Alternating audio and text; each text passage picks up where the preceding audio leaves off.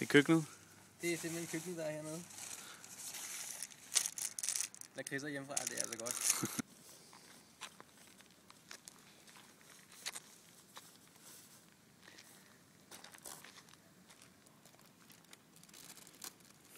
Hvorfor går det der sikkerhed til dig?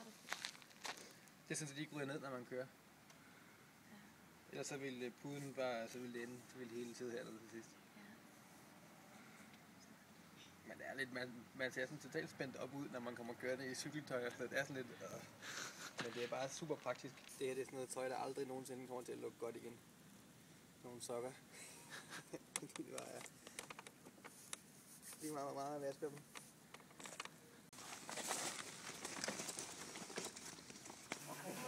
Thank you very much. Thank you. Have a good trip. Thank you.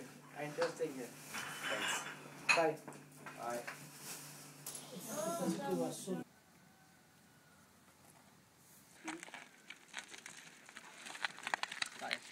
Peace.